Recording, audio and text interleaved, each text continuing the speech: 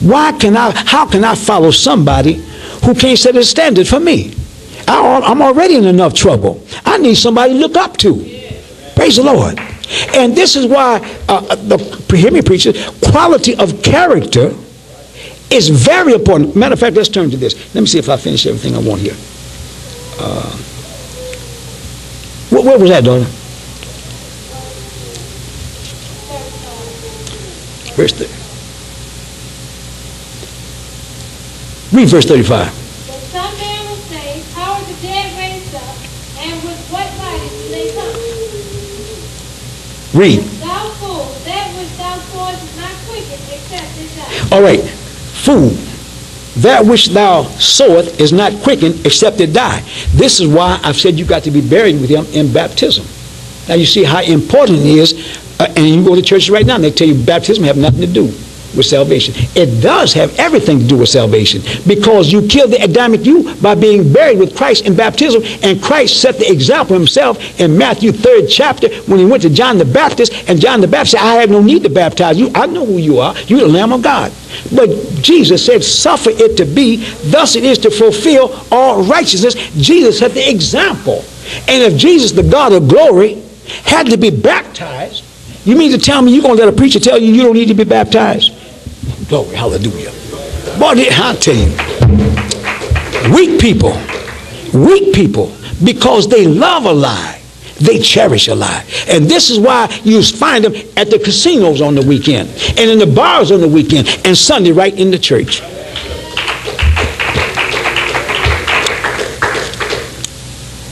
Turn to, uh, where was that at? Read the next verse, daughter. And that which thou sowest, thou sowest not that body that shall be, but their grain. It may, it may chance of wheat or some other grain. Uh huh. For God gives to the body as it hath pleased him, and to every seed his own body. Every seed, his own body. Now here God is talking about a transformation. Now watch verse uh, verse uh, 39. All flesh is not the same flesh, but there is one kind of flesh of men, another flesh of beasts, another of fishes, and another of birds. Did, did I, I share with y'all about over that radio cast a couple of weeks ago? This this person called in and they said, I just lost my dog. Would, would y'all pray for my for, for my dog? It's true. Maybe some of y'all heard it. And the woman said, all right. Uh, uh, uh, and she said, we're going to pray. For you lost a, a member of your family. We're going to pray. And, and, and, and she didn't even know. And I heard the laughing when the woman called in. I, I, I, you know, it, it was a mockery, really. And uh, the person didn't catch it because they don't have the Holy Ghost. And, and, and prayed for the dog. How, how many of you know that a dog does not have a soul? When a dog dies, I don't care how much you love your dog. Amen. I love dogs. I don't love cats, but I love dogs. I wouldn't let my kids have one because they wouldn't clean up behind them, and I ain't gonna clean up behind them. Amen. I'm not gonna be walking on the backyard stepping in this, that, and the other. Amen. Now, if you, now, I have nothing against dogs, but here's what I want you to understand: when a dog dies, that's end of it. He's gone. Case closed. A dog does not have a soul. Dogs don't go to heaven. Horses don't go to heaven. Cats don't go to heaven. Mankind goes to heaven because that's who God created. And he made the beast of the field to be subservient to mankind. That's why when you tell the dog, come here, and he come. The dog, won't tell you to come here. I hope not. Praise the Lord. But, but I'm showing you that people really, they don't even understand the hierarchy of God. If, yeah, we're going to pray, pray for your dog. My goodness. My goodness. You're making a mockery out of the gospel. I started to hit on on the radio, but I said, no, I'm, leave, leave them devils alone. Amen. All right, read. There are also celestial bodies There are celestial bodies. bodies We shared on this about six months ago. Now, let me get to this thing about the Son of God. And I want y'all to hold on to me. Most of you won't catch this. And most of you, some of you will, but most of you won't. There's no Son of God in heaven now, can't be impossible to be. Now, there are scriptures.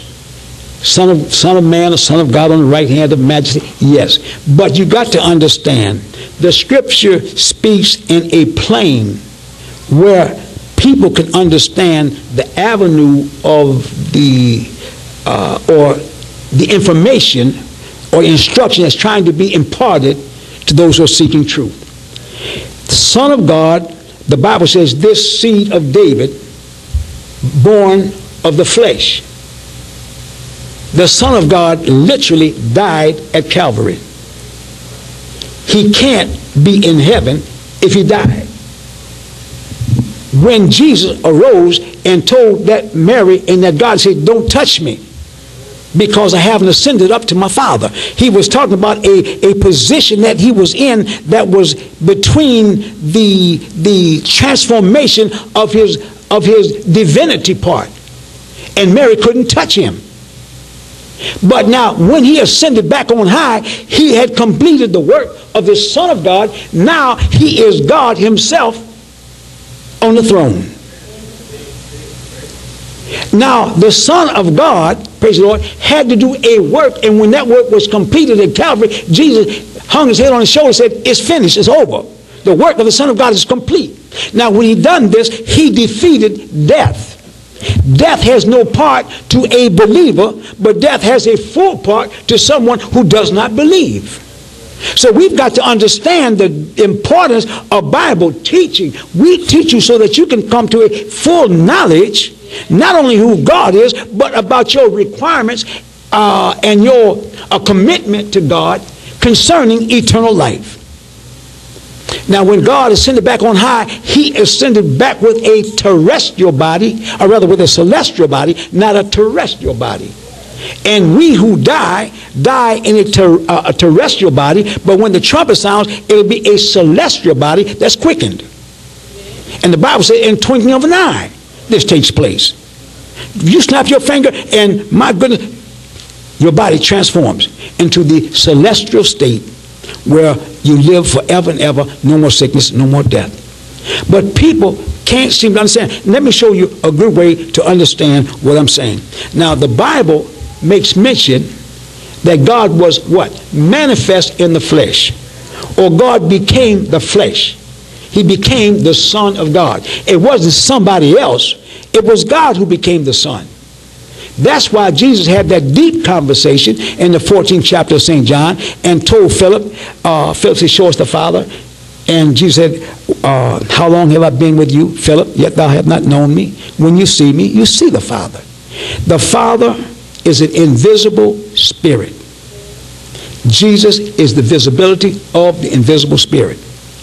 But since you can't touch or see the invisible spirit, you can see his personality or you see Jesus in his uh, bodily form. But it's not two gods, it's still only one God. Now, what was it? Drop down to verse 50.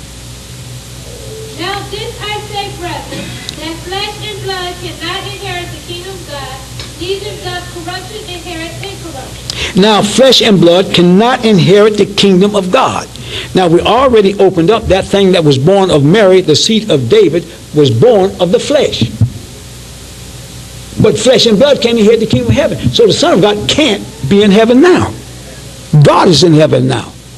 Amen. All right, now watch, read. Behold, I show you a mystery. We shall not all sleep, but we shall all be changed. We shall all be changed we the last trump.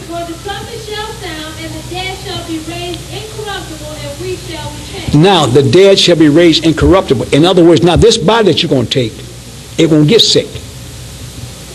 Won't grow old. It'll be the same forever and ever throughout eternity. You have something to think about. Amen. The, the word says so. In a moment, in twinkling of an eye, at the last trump, when that trumpet sound, boom. Now it's talking about saved people. It's not talking about the unsaved.